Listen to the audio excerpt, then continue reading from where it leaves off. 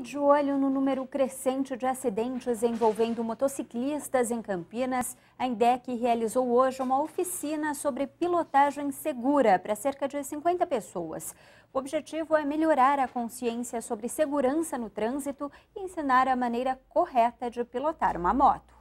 Motociclista há 30 anos, Mara já se envolveu em alguns acidentes. Eu estava parada numa, numa avenida, numa rua, a preferencial não era minha, mas estava subindo um carro, ele fechou demais a curva, ele ia me pegar de frente. Eu adiantei a minha moto e acabei colidindo com outro veículo, quer dizer, eu causei um acidente para evitar outro. Douglas, que é professor de um curso para instrutores, ainda não teve essa experiência, mas apesar das orientações que passa, já perdeu amigos em acidentes de moto. Você ensina certo, mas é, parece que depois que pega a habilitação se transforma.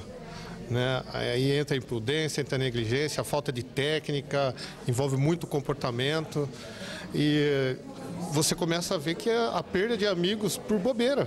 Os dois e outros, cerca de 50 motociclistas, participaram na tarde de hoje de uma palestra de pilotagem defensiva. A intenção é melhorar a compreensão dos motoristas no trânsito e mostrar como usar a moto de maneira segura e eficiente.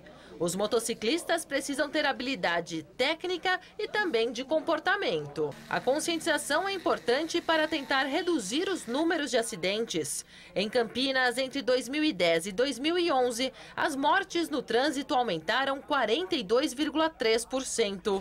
Foram 148 vítimas. Destas, 70 eram motociclistas. O número vem aumentando a cada ano e preocupa as autoridades. Cresce a mortalidade, acompanhando o crescimento da frota, cresce a, a, o índice de atropelamentos de pedestres por motos, cresce o, o índice de acompanhantes de, de, de, usuários de motos, o carona, que também está sendo mais acidentado e mais é, morrendo. E cresce, infelizmente, também para cada morte outros 50 acidentados que não vão a óbito, mas que é, tem que ser recuperado, tem que ser atendido, tem que ser socorrido. E o custo social disso é, é muito elevado. A maior parte das mortes tem envolvido pessoas jovens, entre 18 e 29 anos. 94% dos acidentados são do sexo masculino.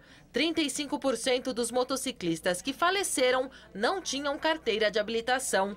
Para este instrutor, a imprudência e a pressa são os fatores que mais prejudicam e causam acidentes. A moto já por si já chega primeiro em situações urbanas, evidentemente. Né? Então, é, o sentimento da pressa que é o problema. Você pode estar a 30 por hora, mas está lá buzinando, está atrás do carro, está querendo sair, que os outros saiam da sua frente. Não, não precisa disso. Vai ter um momento que você vai ter a oportunidade.